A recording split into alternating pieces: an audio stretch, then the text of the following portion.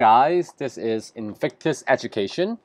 So also from topic 1.1 of IB biology, right? We'll now look at cell specialization.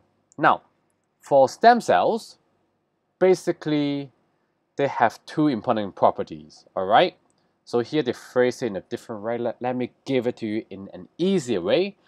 Stem, stem cells retain the capacity to divide and to differentiate. Okay? They're able to keep dividing, producing themselves, increasing in number, and then they can differentiate into a specialized cell. Now, there are several ways that we can classify stem cells. Okay?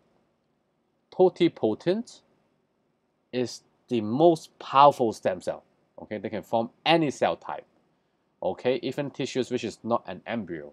Okay, pluripotent, similar. Okay, so basically, but this will only be embryonic, which means it's talking about after the cell was uh, fertilized as a zygote from the fertilization of the sperm and the egg, okay, then it will become a pluripotent cell.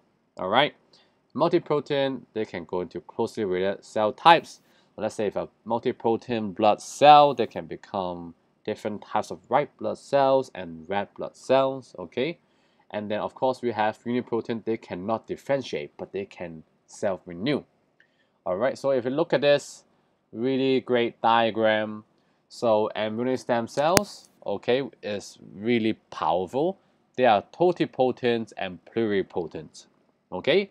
Fetal stem cells, okay, the stem cells we get, okay, when you're still a baby, okay, they are pluripotent, multipotent. And as we become an adult, we lose the amount of totipotent and pluripotent cells in our body. We are left with some multipotent cells, so as I mentioned, some blood cells, okay, and unipotent cells, which basically allows it to repair itself. But of course, this cannot get on or they keep on reproducing or repairing us forever. This is why we age. Now, for stem cell therapy, okay, stem cells can be used to replace damaged cells, okay? So of course we have to get the stem cells from appropriate sources, maybe from the uh, bone marrow, okay? We have to give it a the correct chemical signal to allow them to differentiate. We can implant them into the patient's body, okay? And we have to suppress their immune system, which means do not allow the white blood cells to kill off the stem cells that I put into the body. And then we have to ensure that it doesn't become cancer because cancer is basically the cells cannot stop dividing. It's uncontrollable. All right. So let's look at some examples which you have to know for the IB. So first of all, the Stargardt disease, all right, is basically the cells in your retina, inside your eye, they start to degenerate, okay? So we just have to replace retinal cells there, okay? Parkinson disease, death of nerve tissue. Again, now, this they make it look easy. It's actually not because it has happening in your brain. Okay, so but the third nerve tissues are inside. Okay, and there's different uh, protein compounds forming, which causes to uncontrollably again to shake our hands or muscle contractions. So that's the Parkinson disease. And then leukemia, very common example. They always uh, show up in a, it's a bit cliche, but in those Korean love movies. Okay, so basically, cancer of the blood. Okay, it's going to keep producing a lot of blood cells. They could produce a lot of white blood cells, but they are all ineffective in defending you against disease. So don't think that in leukemia, because the number of cells are increasing, the number of white blood cells are increasing, you're becoming more powerful to fight infection. That's not true. So we have to replace the bone marrow. Okay. So uh, how do we do it? Basically, we are going to kill off the cells in our bone marrow first.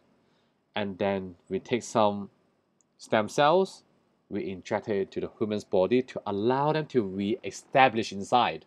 Okay, uh, and then they will form new bone marrow cells. So in other words, they can now produce normal cells. But so of course, in paper two, in the essay questions, the session B, you could be asked ethical considerations in use of stem cells. So let's look at how different sources of stem cells could have different risks. Okay, this is the most important factor for the patient. Now, embryo stem cells most difficult to harvest or to obtain, but okay, remember this, highest risk of cancer, all right, of becoming a tumor. And also remember any embryo cells that you choose to get, they're actually a potential form of life, and they are not alive yet, but they could be. So who are we to actually stop them from becoming a real baby, all right? So of course, when we can generate embryonic stem cells, just fertilize sperm and egg together. Now, this one, some parents they will choose to put aside or collect umbilical cord blood, okay, store it in uh, liquid nitrogen, okay, but uh, it's not a high growth potential, but a lot less risk in tumor. They can be easily obtained and stored, which is great. But of course, it is a bit expensive, all right? So, and you have to make the decision the moment your baby is born, all right?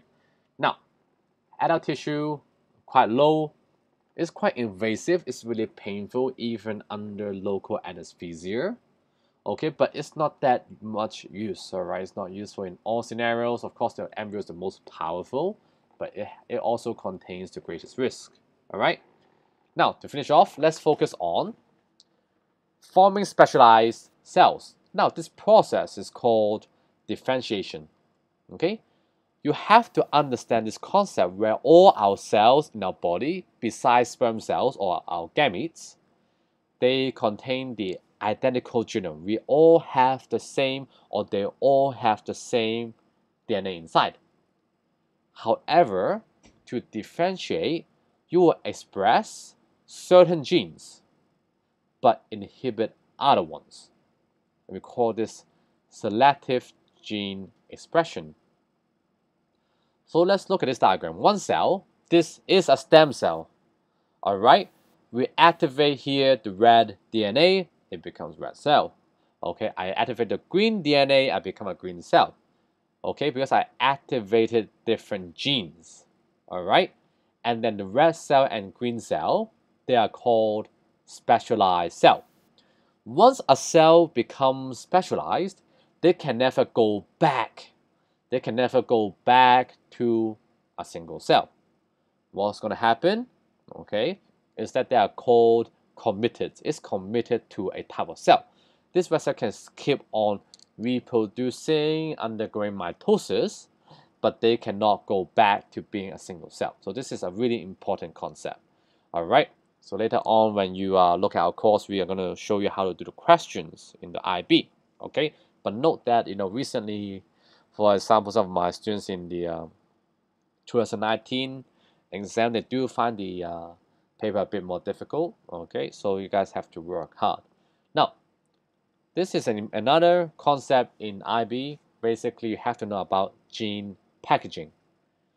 Within the nuclei of eukaryotic cells, gene instructions are packaged with proteins.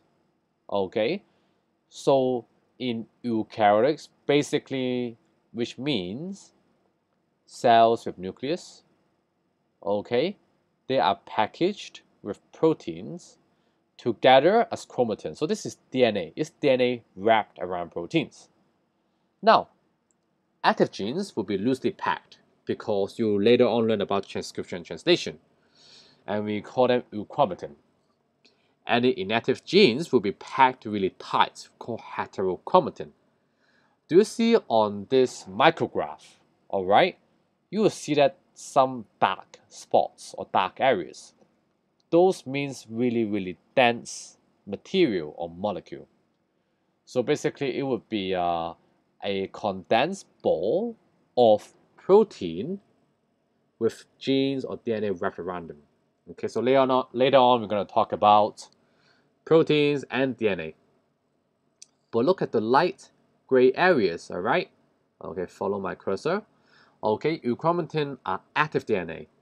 Okay, so this is what's happening within the nucleus. Okay, active DNA, they are loosely packed, quite accessible to enzymes. That's the key. They're accessible to enzymes. Hence, we can use them for replication, transcription, translation to activate this cell because the nucleus is the brain of a cell. It's going to tell the cell what cell to become to differentiate into either gene A, using gene A to become red cell or green cell, all right? So this is a continuation of cell specialization, topic 1.1, IB biology. Okay, so thank you for watching. Remember to subscribe. I hope you enjoy this.